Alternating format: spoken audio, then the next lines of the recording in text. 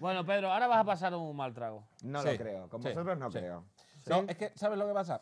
Que, bueno, como director de una revista. director, director. director de una revista. tú sa- sabes tú que los titulares de prensa hoy en día mm, varían de la noche al día, de un periódico a otro, de una revista a otra. y- Engañan, y, engañan. uno, y uno muy bien no sabe si, si o hay algunas erratas o, o es que lo hacen adrede. O hay ratas. Eh, O, ra- o hay ratas que cambian los titulares, yo no sé, ¿no? Entonces vamos a ver algunas portadas de algunas revistas Venga, venga, eh, venga. De, de tirada nacional y tú me dirás si ves en ellas alguna errata o ves el titular un poco cambiado o es que o es un Si titular sale Cintu en el titular, lo voy a averiguar, ¿eh? Sí, seguramente. sí, o es, o un sí. titular factible, ¿eh? o sea, un titular que sea real. Vamos a ver la primera portada de revista que pertenece nada más y nada menos que a una revista que se llama La Carne. No sé por qué. Vamos a verla. Ahí está. Lo que pasa es que se ve un poquito pequeño. Bastante pequeño. Ahí pone la carne de ternera. eh, Eso lo has hecho tú, ¿no? sí, lo he La- hecho la has podido hacer más grande. Un poquito pequeña. La carne de ternera. A mitad de precio. Es un titular que viene ahí entre las secciones. ¿Esa, ¿Ese titular es real? Bueno, a ver, en principio podría ser real. Porque Bucéfalo, gran grupo de Mérida, siempre está ahí con. Metiendo la- sí, sí, carne de ternera por todos lados, los filetes, voy, voy, voy, voy. Mérida es así, chicos, Mérida es así. Puede ser real, puede ser real. Pero creo que no, que esta vez no es real. La han metido ahí. La han metido ahí, no sé cómo, lo han mala metido. leche, Sí. mala leche. La carne de ternera a mitad de precio. ¿Dónde? Que vayamos tú y yo. ¿Verdad? Es que estoy viendo el titular a la siguiente noticia. bueno, el siguiente, A ver. el siguiente titular es del periódico Extremadura y anuncia en portada que a José Luis Leo, presentador eh, de esta cadena, eh, le, han, le han llamado como nuevo concursante del, del concurso de Antena 3 Splash. Vamos a ver el titular. Además, es que era una, una primicia. y- Sí, sí. Además sustituyendo a otro famoso. Vamos a verlo, por favor. Ahí está. El humorista y presentador José Luis Leo sustituirá a Falete en el concurso Splash de Antena 3. Ahí, ve- ahí le vemos, a- además te vemos con el... Sí, sí, parezco falete. No, no, es que eres él.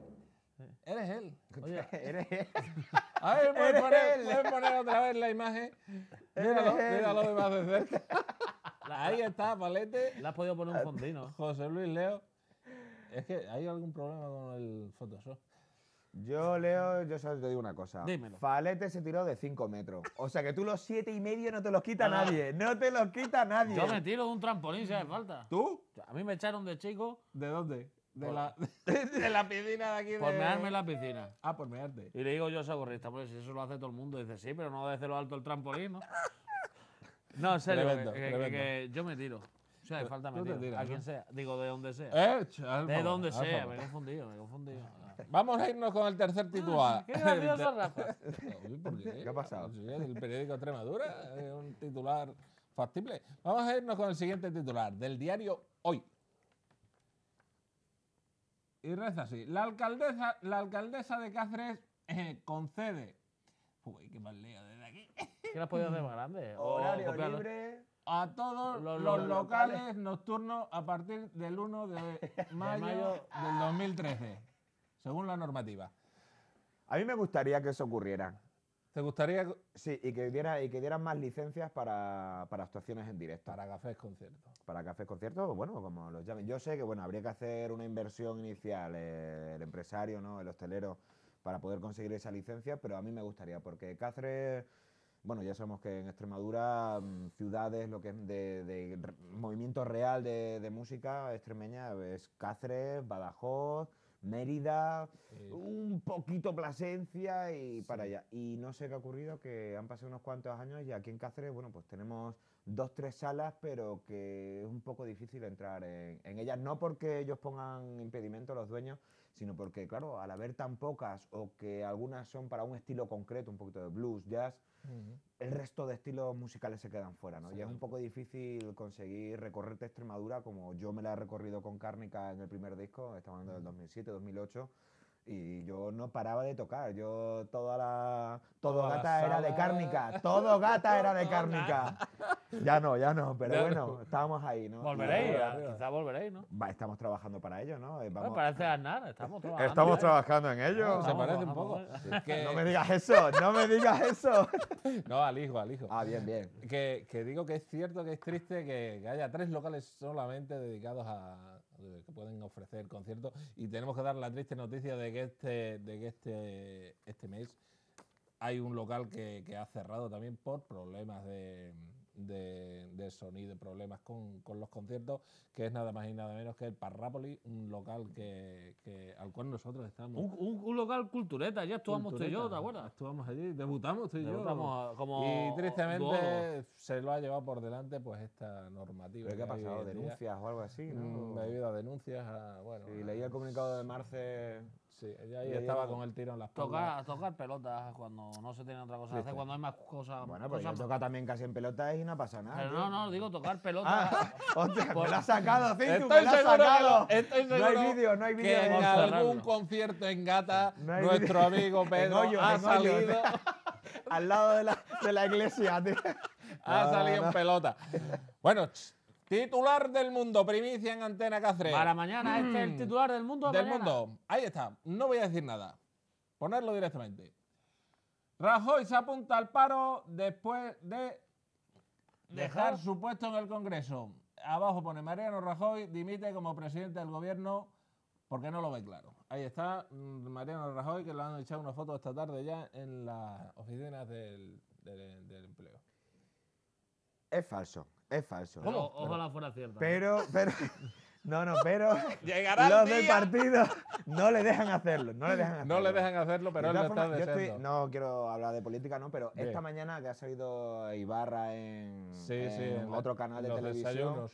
y ha hablado bien de, de Rajoy en ciertos aspectos de era un pedazo de papelón el- cómo estaba España y bueno, parece ser que mm, quizás no ha conseguido algo lo que queríamos todos, ¿no? Pero por lo menos ha mantenido ahí el rollo. Ya veremos a ver lo que dura. Veremos a ver cómo Ya acaba. veremos lo que dura. Y veremos si este titular no se hace efectivo dentro de poco, ¿no? Por el bien de España.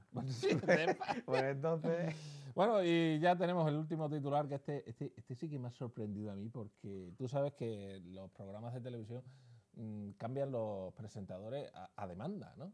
Eh, A demanda. Y bueno, aquí hay un programa de- también de televisión que es Ar- Aratak, que no lo ha visto, ¿no? Aratak. Art Attack. Art- Attack, art- Attack. attack.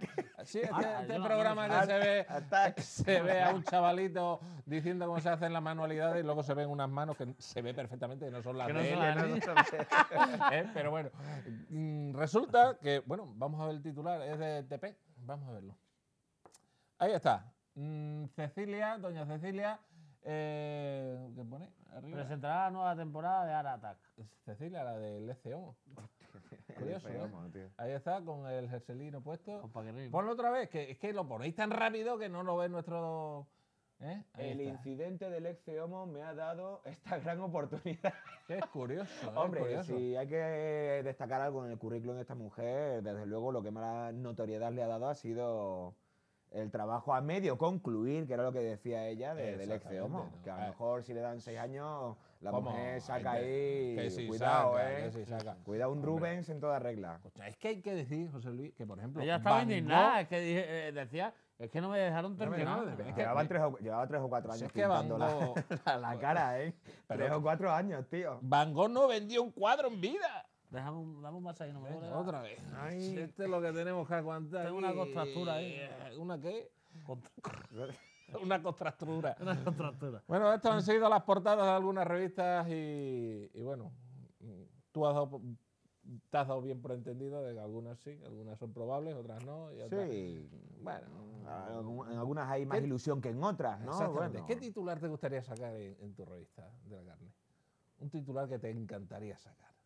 Hostia, pues no sé, que por ejemplo, bueno, estamos ya, ya a lo loco, Loco, a lo loco, venga. Tú Pero, pide, pide. Por ejemplo, que de repente el Ministerio de Interior se invente, yo qué sé, unas ayudas especiales para los músicos extremeños y de repente nos den 3 millones de euros cada año para hacer giras, rutas, locales. Joder. Y para los presentadores y de mira, que hay mira que hay Los ministerios ha bocadillo de chorizo, seguro. El bocadillo de chorizo. Mira que hay ministerios se lo ha pedido al Ministerio del Interior. Porque, yo qué sé, del interior de España, ¿no? De No vamos a cultura, hacer ¿no? de... El de... Yo qué sé, a la Que se cultura. lo quiten a los maderos y se lo den a fuera, la fuera, cultura. tío. No queremos madero, queremos músicos. Exactamente, mucha policía, poca diversión, de- rezaba la canción. Y bueno, ahí está, ahí está, es cierto.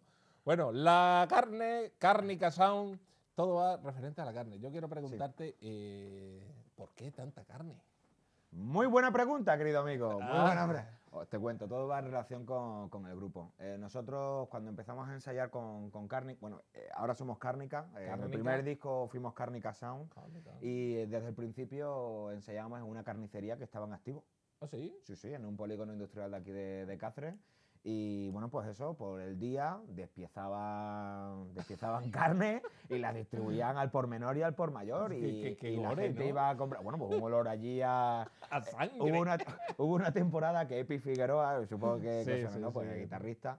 eh, estuvo con, con Cárnica, estuvimos una, una pequeña gira y claro, el que es vegetariano decía, tío, si es que cada vez que voy a ensayar solamente huelo a carne, tío. Encima en aquel momento a lo mejor pues, había algún trozo de hueso o lo que sea y llegabas allí y había huesos por, por el suelo. Digo, hostia, Madre ¿qué coño está ocurriendo aquí? ¿no? Y los ganchos. Y, Y entonces, pues nada, el grupo se llamaba Cárnica, Cárnica Sound, por, era el sonido de la carnicería, ¿no? Ah, por el claro. día era chaca chaca con la carne y por la noche llegábamos nosotros ahí A con los sacar berridos de- de- del Menda mejor. Grenda, ¿no? Y entonces, pues como la revista nació mm, A ra- a a, raíz de la sí. promotora de conciertos, que era la carne producciones en relación con tal, pues la carne magazine, ¿no? Que vamos a... Qué buen nombre para mí. La carne a cinturita. ti siempre, eh, eh, tú la carne la has llevado siempre muy Bien. a rajatabla. Bien, recolgando casi siempre. Más bien pellejo. más que carne. ¿Te acuerdas del chiste que te conté ayer? No, El cuéntamelo. pellejo para atrás. No, no, no. Uy, qué guarro. ¿Cómo vas a contar ese chiste aquí? Ese, ese lo cuenta eh, mi batería, el de Cárnica, sí, eh, sí. el tu batería es un guarro también. pellejo para atrás, pellejo para atrás, pellejo para atrás.